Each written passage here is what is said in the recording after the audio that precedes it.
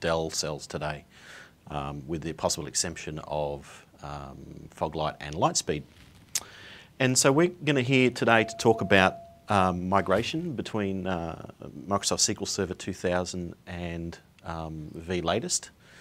Um, and we're going to start with a little bit of a brief walk down history lane, um, just to sort of drive home uh, how long ago 2005 actually was.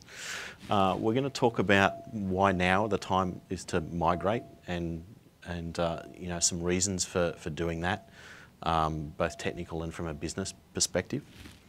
And then we're going to talk a little bit about how Dell can help you if you decide that you want to um, come on that migration journey with us.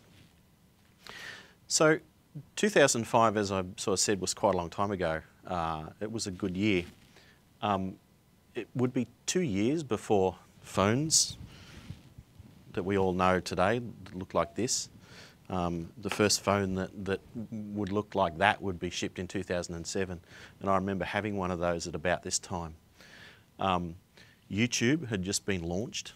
In fact, this was a screenshot taking, taken some three months after it launched, and you can see even back then, uh, cat videos were in the top five of searches on YouTube, right?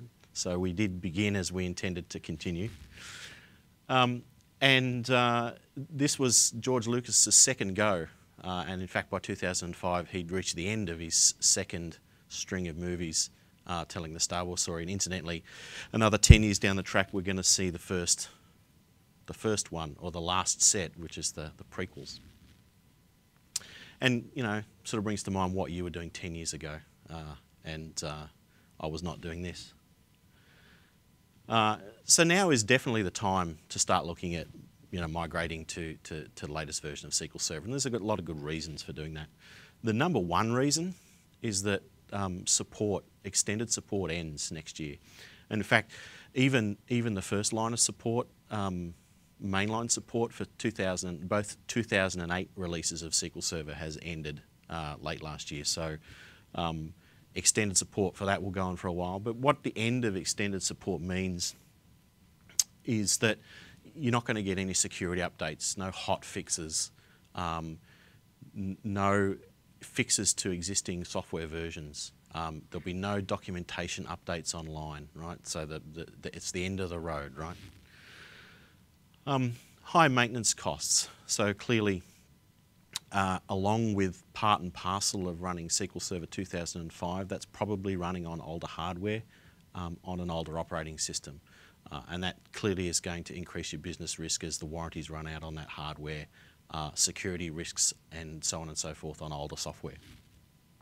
And then some compliance risks. So um, it's just going to be not as secure and the features that exist in later versions of the, the operating system and the database software do not exist in these older versions, so you're going to find it very difficult to maintain um, you know, the, the regulatory compliance levels. As I sort of alluded to, um, you know, part and parcel of running SQL Server 2005 is probably that it's also running on Windows Server 2003 uh, which is clearly another two years older again than SQL Server 2005. Um, and it has the same sort of story, right? It's um, reached the end of its support life. There's no hot fixes for it. Um, it's known that it is not compliant to for certain regulatory schemes, and that you're going to have a, a problem with higher cost of uh, ownership simply because, uh, for two reasons. One is that that um, you know maintaining all of this old stuff um, has a cost in and of itself. And there's also an opportunity cost. Um, th there's potentially a lot of productivity and functionality up, um, benefits you get from running later versions of software that you're not going to get if you are still running older versions. So let's talk a little bit about the gap of features that, that happen over the course of 10 years, um, which is sort of why I started with that little history lesson. So SQL Server 2005 was probably the first, I don't know, in quotes, um, air quotes, modern version of SQL Server. So it's certainly the first one that, that introduced um, the modern manage, the dynamic management views, which was the more modern way to get um, uh, metadata and support information outside, out of the SQL Server engine for performance purposes. Um, it gave us the, the, the common language runtime, so you could put C Sharp code or .NET code inside the database engine if you wanted to. Um, it added some hardware support for enterprise type features like hot add memory. Uh, ranking functions if you were doing um, business analytics or reporting type uh, workloads. And then richer, richer data types in the form of XML and XQuery, which, which at the time that this was released, XML was quite a hot topic. And then some, some high availability stuff that was a little bit better than what we had at the time, which was you know, replication and rolling it all yourself manually in the form of database mirroring. And the manageability tools were better. A couple of years later, or a few years later, um, you know, again, it was built on by Microsoft. We had um, uh, hot add CPU instead of hot add, as well as hot add memory. Um, there was some, uh, the concept of a performance governor was introduced so that you now had some control over how end users would consume the resources on the box. X events improved the manageability experience again. Um, spatial indexes were good if you were going to be doing anything to do with geo um, type workloads where you need to know where some was in the world. Um, and compression, so that was uh, quite a big savings in terms of storage and time for backing up your database. And again, on and on it goes. So 2012 we had another release. There were two releases of 2008. Um, I've sort of rolled them into one here, but 2012 added always on availability groups. So finally a grown up um, high availability solution. Column store indexes, a, a huge performance um, gain if you're doing uh, aggregate type queries. And the final slide, again, in sort of the, the, the, the, bridge across from 2005 to the latest release, is that, that you know, I've tried to pick out some features here where um, in the latest rev of SQL Server 2014, there's features that are not just evolutions on top of stuff that was already there, it's completely new. So a lot of these features, for example, that I've just called out here, and this is not an exhaustive list by any stretch of the imagination, but a lot of those features there didn't even exist in 2005 um, you know, in-memory type stuff, um, support for live migration and Hyper-V, um, always on availability, um, and on and on the list goes. So drilling down into some of these sort of issue, the benefits that you get, um, you know, all the way through that, that 10-year period, culminating in SQL Server 2014, is, you know, some uh, compliance stuff, um, in particular PCI DSS 3. Why this is important is that um, uh, in this world uh, where we have to sort of maintain users' privacy, the ability um, to, to have this concept called separation of duties is very important. So previously, um, this has been a theme in all databases, if you were the DBA or the person managing the database, by default it was assumed that you would have access to all the data. Um, and then also too, if you wanted to potentially grant someone who had to do something with that data access to all the data, then sometimes they had to be granted permissions to do manageability things on the database.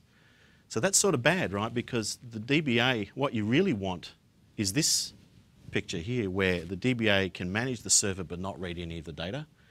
And the auditor or consumer of the data can look at the data but not manage the server. So Clearly, the DBA shouldn't be able to go and look at people's credit card information, and the auditor shouldn't be able to go and create a super user on the database so he can log in later and look at anybody's credit card information. Some additional stuff that came in 2014 was sort of enhancements around scalability, right? So this is the normal stuff that Microsoft does in the course of updating its software. The number of physical processes that can be used on a SQL Server box went up to um, 640 and the amount of memory went to 4 terabytes. Similarly for virtual environments the numbers increased as well. And again we have hardware that exercises those limits. Failover clusters. So if you're still using failover clusters, and there are some scenarios in which failover clusters are a, an appropriate disaster recovery or high availability type technology, you can now have up to 64 nodes. I talked a little bit before about the concept of the resource governor. So in 2008 R2, um, we introduced a CPU governor. So that let um, DBAs and people managing the database to place a cap on the consumption of CPU resources. So if you had um, a server in which you wanted to make sure that, that CPU was evenly divided amongst the consumers, you could in fact enforce that now. 2014 brings the concept of uh, an IO governor, so you can do the same thing with IOPS.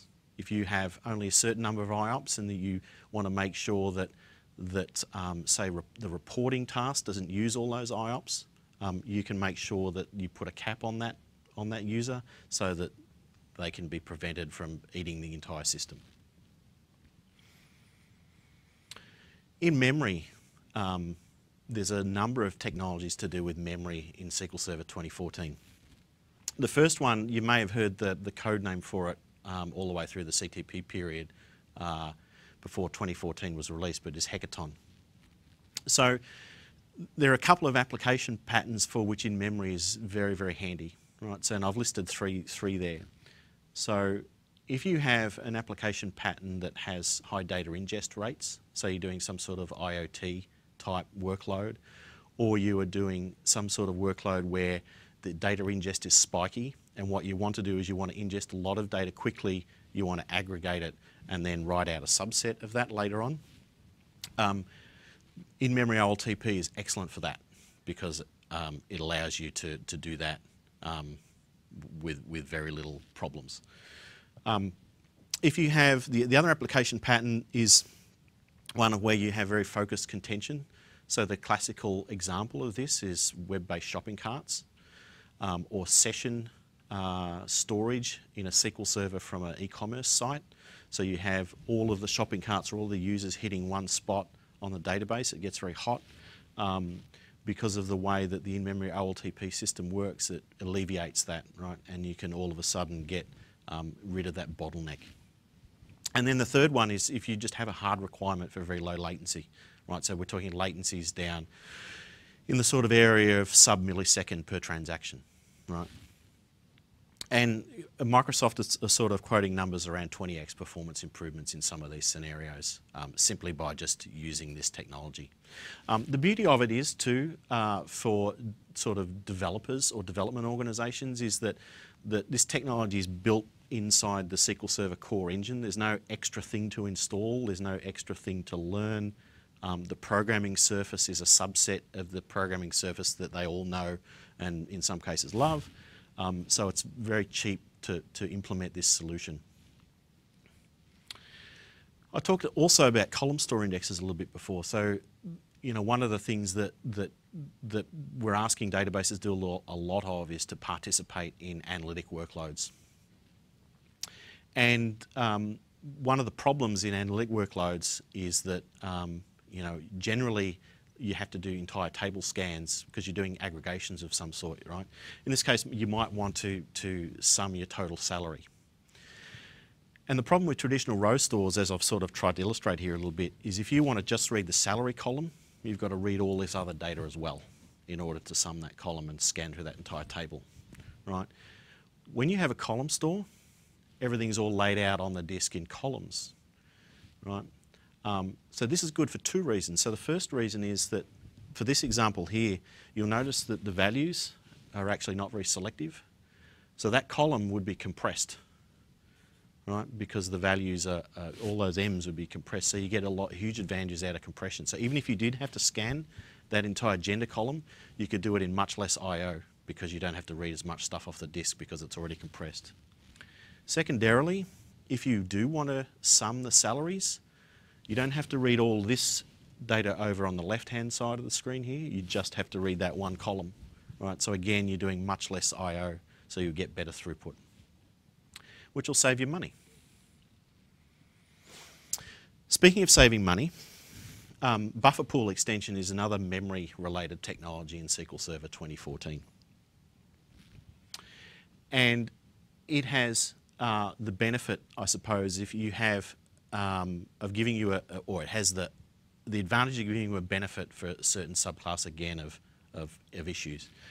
So if you have older hardware with full RAM slots, so you can't fit any more RAM in the machines, um, you have dense virtualized um, sort of environments where you don't want to allocate more RAM to individual VMs, then buffer pool may, extension may be for you. So what's buffer pool extension, you may ask? Well, so you have a query engine that's answering questions from users at the top, and in the middle you have some RAM, which is acting as a cache, which we call the buffer pool.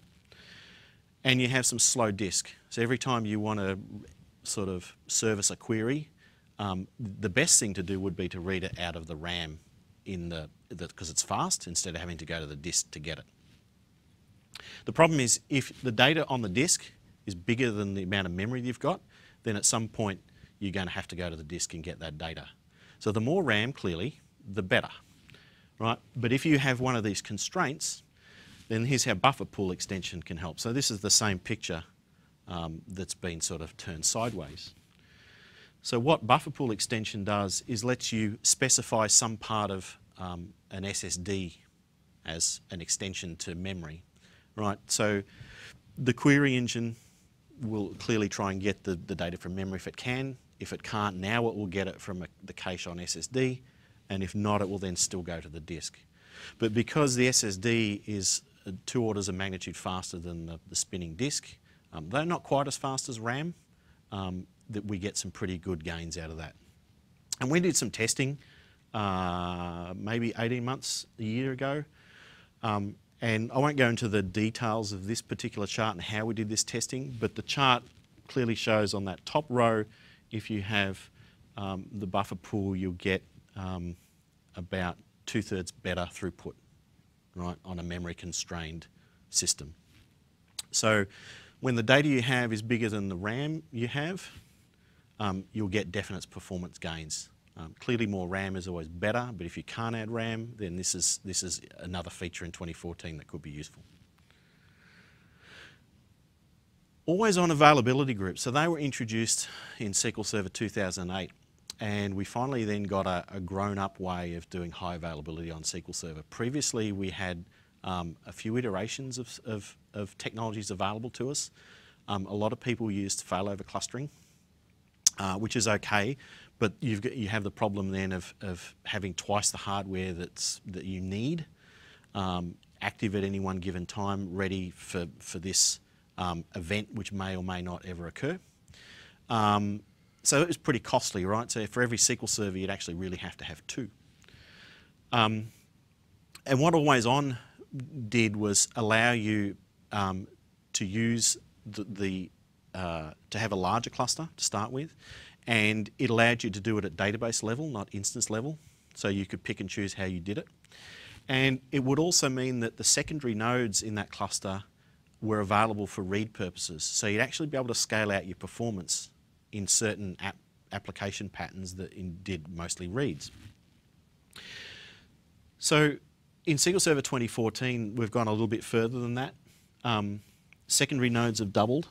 So again, now you've got twice potentially the, the throughput um, if you're running an app that takes advantage of this scale out read performance.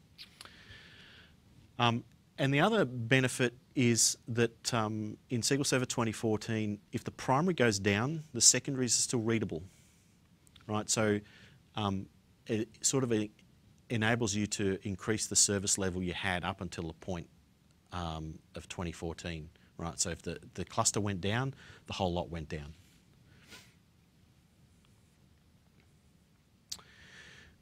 Some additional, additional sort of flavouring on top of Always On, and th there's sort of a series of features in 2014 which are sort of aimed at hybrid cloud. Um, so Azure is, is for Microsoft, for better or worse, Microsoft um, control both technologies. So they can do really good integration between SQL Server and Azure. And always on secondaries in 2014 can now be in an Azure VM. So as I've pictured here, you can have two secondaries on site and a third sitting in Azure VM. So why is this good? So again, if, you, if you're in a situation where you don't have today off-site disaster recovery or off-site, like a secondary site, high availability. Um, this allows you to leverage any of the Azure data centers all over the world to do uh, to sort of bake your own offsite high availability at high reliability and relatively low cost. Because you don't have all the capital expenditure of having to go and set up another data center somewhere. You can use Microsoft. Keeping along with the Azure theme, um, an Azure URL can now be a backup target. So you can write Azure backups or write SQL Server backups straight to Azure. So why may you want to do this? There's a number of reasons. Um, if you're in or intend to be in a hybrid cloud environment, being able to shift um, data quickly and easily between on-prem and off-prem, or to be able to be always just doing the backups and then have them um, be able to be restored within a cloud environment. So you get um, the, the, ability of, of, fast and easy migration and it's all sort of built into the whole process. The other benefit is that storage is pretty cheap in Azure. Well, it's cheap in all the clouds. Um, so if you have plenty of network bandwidth between your data center and the, one of the Azure data centers, um, storage is pretty cheap. And then sort of furthering on that theme is then you get uh, to take advantage of all the goodness of um, Azure Blob Storage. So you get geo-redundant storage and you get snapshot backups and all the sort of things that you normally get. Taking advantage of that technology.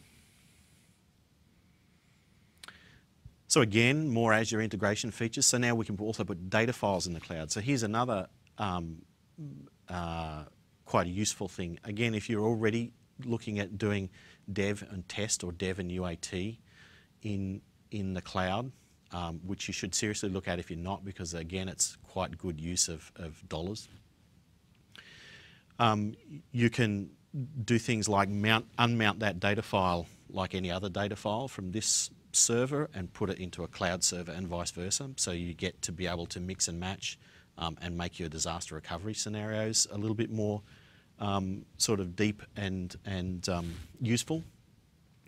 Um, there are some security uh, concerns here which Microsoft have addressed by making sure that the encryption keys are stored at the server. Um, so even if that data file was in Azure and your uh, Azure account was compromised, um, unless they had the encryption key from the on-prem server, they wouldn't be able to read the data in the data file. Um, and again, the same sort of things that you get with Azure Blob Storage. You get geo-redundancy, you get um, uh, the snapshot backup and all the sort of other goodness that you normally get. So that was a sort of a trip through all of the whys. You know, we talked about the time to migrate. There's a list of all the whys. There's 10 years of feature gap that you can take advantage of. Um, but how do you get there, right? If you are on 2005 today, how do you sort of move to the latest versions? I've sort of broken this down um, with some help from some people at Microsoft into sort of three steps. So the idea is that you would clearly work out where you are today. Um, second step would be to work out where you want to go and the third step would actually be make the move. So we can help, and, and clearly Microsoft can help at all of those three different stages. Um, um, in terms of working out what's involved in an upgrade and what you might want to do as part of an upgrade, um, at its simplest, I mean, you can clearly upgrade a SQL Server instance from one version to another in place without any hassle at all. Um, in this particular case, given that you're upgrading 10-year-old systems to modern ones, you're probably going to look at new or changed hardware investment. If they're not virtualized, you would probably want to look at virtualization. There's a lot of um, sort of items that would have to go into your, your decision tree around this. So there's some documentation on the Microsoft website that can help you do that. Um, certainly, when you're thinking about where you're going to go to, right? So um, do you want to be still all on-prem? Do you want to be in a hybridized environment? Are there some applications that you're running today that in, in, in reality would be probably a better fit with the, the database as a service technology that exists in Azure today? So th these are all things also for consideration as part of where you want to and how you want to get to where you want to go. Excuse me. And then in terms of upgrading um, you know, both Dell and Microsoft can certainly help help you there. Once you've actually made the move, um, you know, the organisation I work for, Dell Software, um, certainly has a lot of tooling to help you manage that estate if you're not already taking advantage of that. So let's talk a little bit more about how Dell can help with some of this stuff. So we started breaking this down and thinking about expressing this term, expressing this in terms of a data journey. Uh, and I have four steps here, so reactive, informative, predictive and transformative. And in fact, Michael talked a little bit about this this morning in the keynote if you were there uh, in terms of digital transformation. And it's not really meant to be prescriptive, and, and I'll drill down to this in a little bit more detail, but the idea is that, that we want to move, I think, particularly as an industry and like myself as a database person, from a situation where databases are merely systems of record on the left-hand side here to actually where databases can help um, drive the business and provide sort of potentially new streams of, of revenue. Uh, as Michael said, um, you know, technology is not a, uh, part of the business case, it is the, the, the business. So let's break this down a little bit more in terms particularly of the, what we're talking about today with SQL Server migration. So if you think about reactive and system of record, um, you know, you may, we're talking about a 10-year-old software here, right? We've got structured data from line of business apps. Um, you know, we've got three nines of availability potentially. Um, uh, we may have a data mart. Uh, you know, we, uh, I've used, heard the term spread mart, where we just export the data from the database and put it in a spreadsheet and do graphs on that. Uh, we have basic batch and operational reporting. Um, you know, IoT could be either a, a, a, distant want or could be very basic in terms of connected devices. And our deployment is largely on-premise, right? And that's what the picture looked like 10 years ago. Fast forward a little bit into um, SQL Server 2008, particularly the, the releases where Microsoft started talking a lot about BI and getting value-added data uh, you know, we're now we're in a sort of um, world where you know that data still mostly structured though and still stored in relational databases um, is analysed centrally. The data informs the business. We're actually doing some reporting off it now. Um, we've introduced the concept of virtualization uh, and we have a sort of higher expectation around availability. We may have a data warehouse. We're, we're probably doing historical reporting and some ad hoc sort of analysis.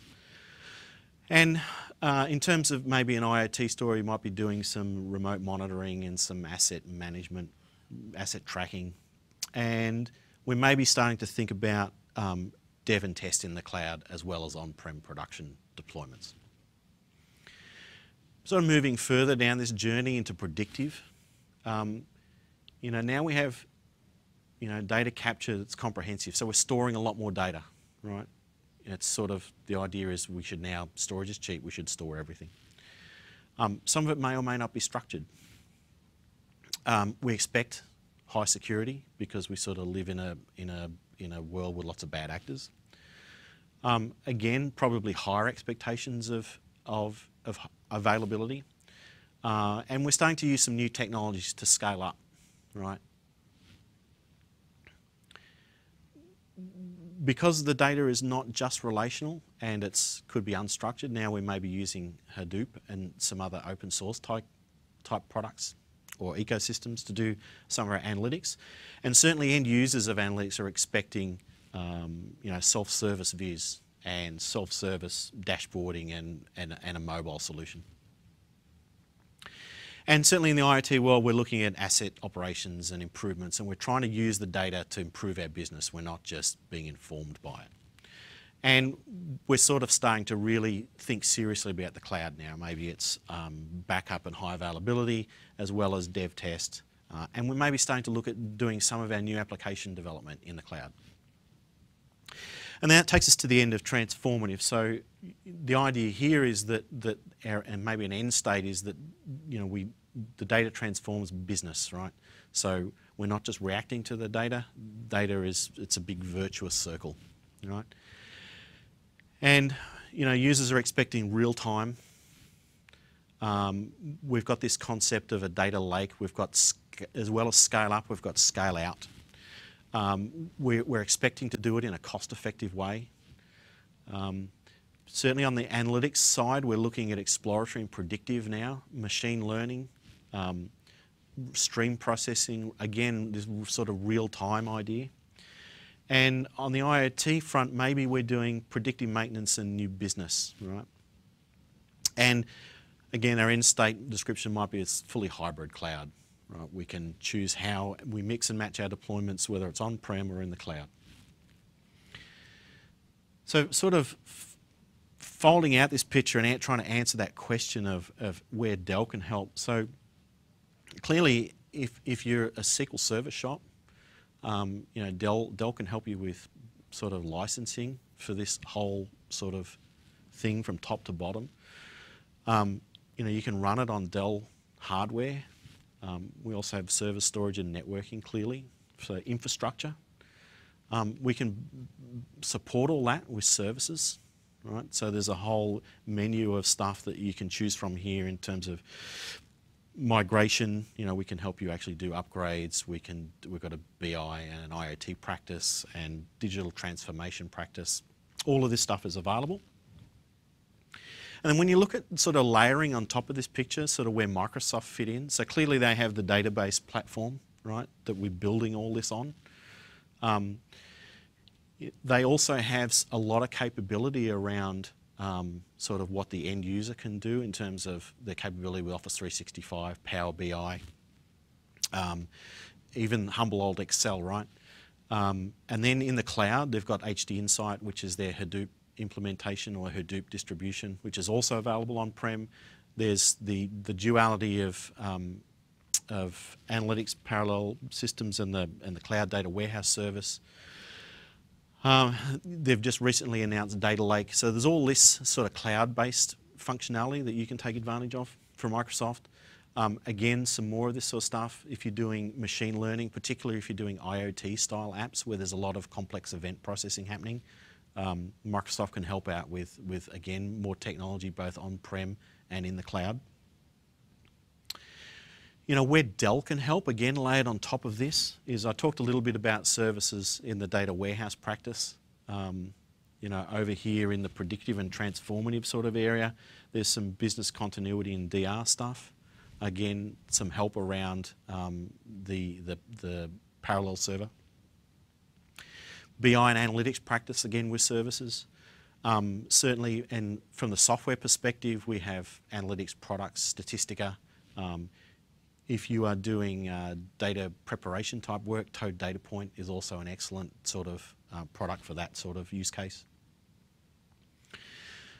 Dell Services, again, with the IoT practice, uh, looking across the spectrum in terms of uh, maturity, in terms of um, this journey, you know, in the later stages, um, Boomi and Statistica, if you've got applications um, and analytics that you need to uh, tie data together from various sources.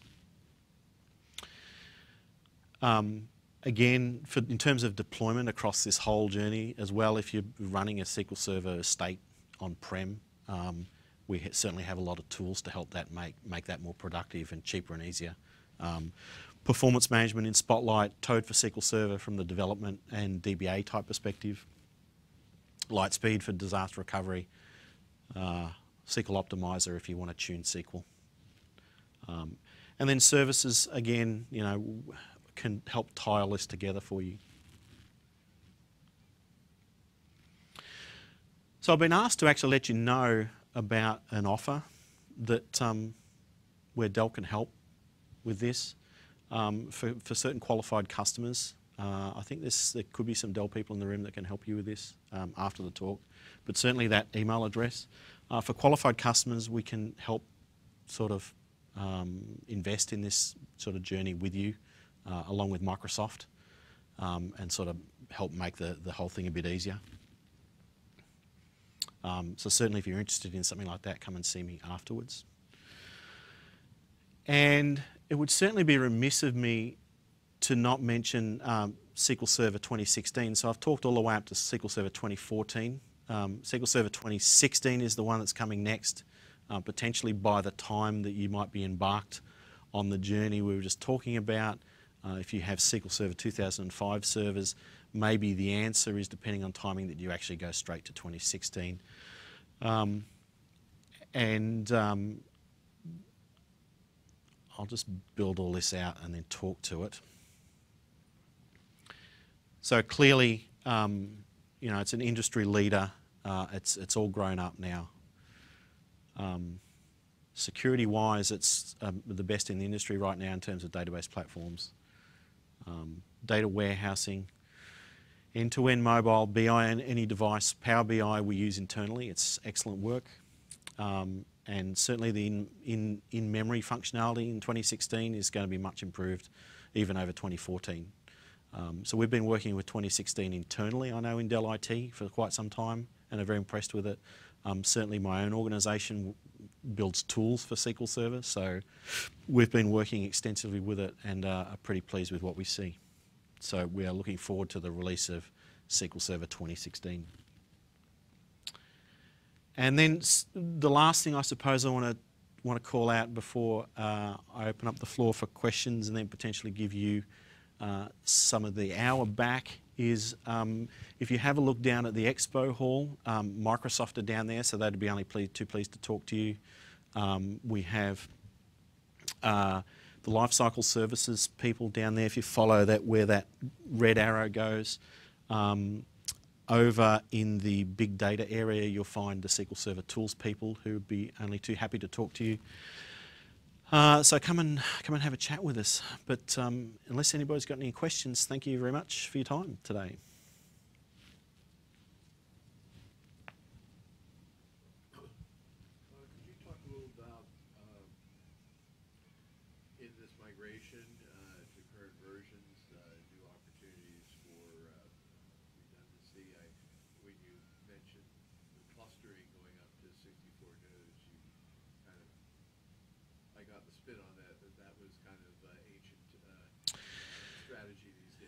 Yeah, so there, there are so many high availability technologies um, in SQL Server that are still supported. Um, failover clustering in particular, that there are some scenarios in which um, there is no other option other than failover, but I wouldn't call it the go-to solution in the light of the, the always-on availability clustering now.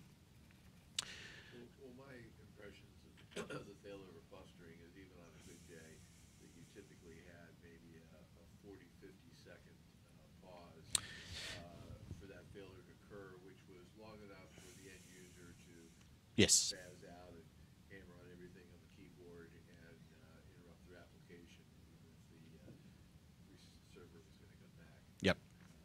so uh, I, I, never found that to be a particularly satisfying solution. Yeah, always on is better at that. There is there is um, a much shorter time at, at, which if the node that you're connected to goes down, um, because the, there are generally more nodes, and it's it's designed not to be we're going to fail over services from one computer to another computer. It's it's I'm going to service a query and I'm going to go and get the data from one of these eight available nodes. So the chances of all eight of them being down at once are like pretty close to zero, unless you've got an entire data center failure. In which case, again, you can split always on available, always on across multiple data centers. So that that pattern where the where the application sits and waits because there's a persistent error whilst the cluster fails over is, is not as pronounced for always on.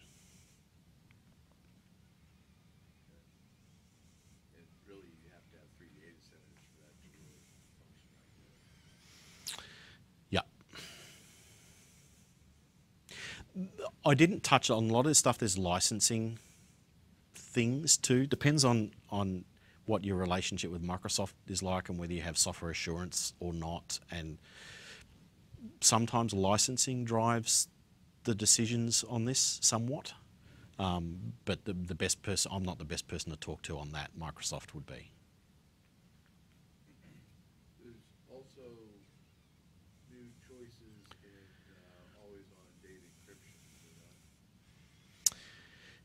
Yeah, so encryption in SQL Server 2016 is now pretty pervasive. Um, you can do encryption at column level. Uh, you can do you can have the database encrypted. It's all at multi levels, um, and the key management is much more mature than what it was in the past. Um, it's been a little while since I've looked at all the details of that, um, but uh, but yeah, the, encryption as an option certainly didn't exist in sort of up until 2014, and certainly much improved in 2016.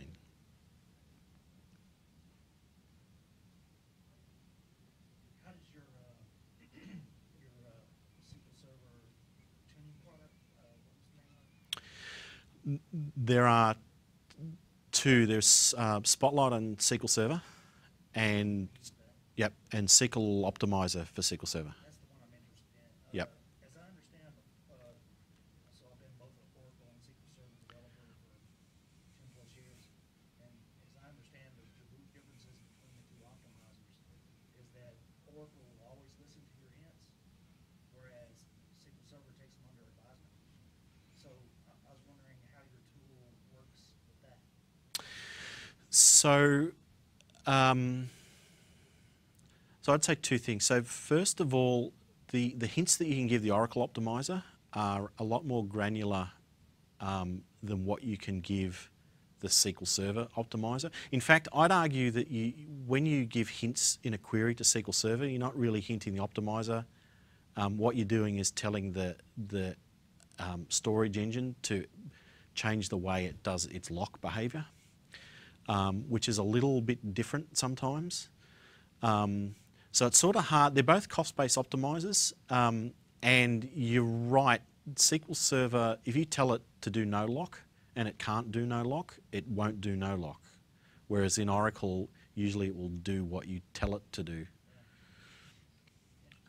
Um, yeah, I mean both both the SQL Optimizer products do do effectively what the optimizer does, but because of they have infinite amount of time to do it in, because what you do is you say, here's a SQL statement, optimize this, and it'll go through and rewrite it umpty times, and then it will start testing those rewrites against the engine and to work out which one's best. Thank you. Any other questions? Thank you very much. I know it's tough first session back after lunch.